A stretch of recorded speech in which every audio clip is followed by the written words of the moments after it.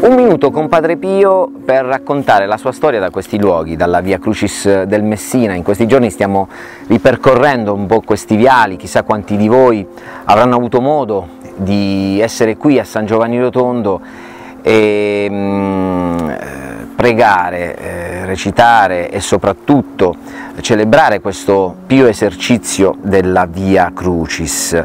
ripercorrendo i passi di Padre Pio. 9 dicembre, 9 dicembre del 1941 ci aiuta l'epistolario, il numero 4,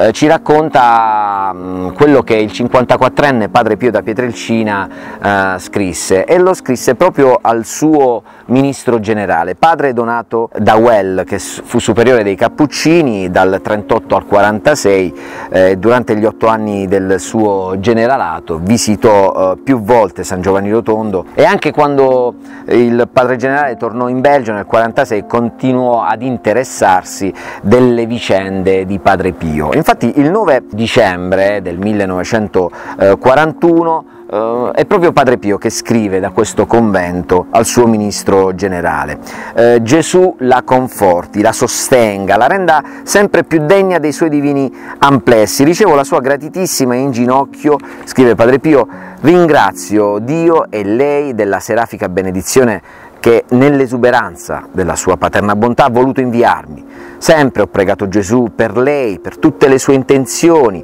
ma qui innanzi intensificherò le mie preghiere presso il Signore per la sua santificazione e per la prosperità del serafico ordine. Una preghiera, quella di Padre Pio, anche per i suoi confratelli, i suoi confratelli eh, cappuccini eh, che vivevano in ogni parte del mondo, in particolare anche la nostra preghiera va ai tanti confratelli di Padre Pio che in questo periodo un po' triste per tutti noi eh, stanno combattendo con un flagello che è, invisibile ma che purtroppo è, è tremendo e sta seminando non solo paura ma anche vittime. Allora